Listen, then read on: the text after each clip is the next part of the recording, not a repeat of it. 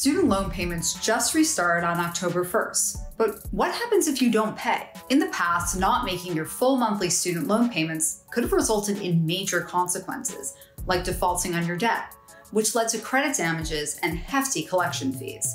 But right now, there's an automatic 12 month student loan on ramp in place that will delay these damages if you don't pay between now and September 30th, 2024.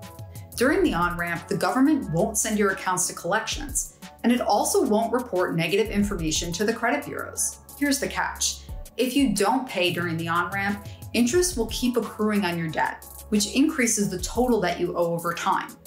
You also won't be making progress toward debt cancellation through public service loan forgiveness or through income driven repayment plans. If you're considering not paying at all, the on ramp technically gives you some time to get your finances in order without defaulting on your debt.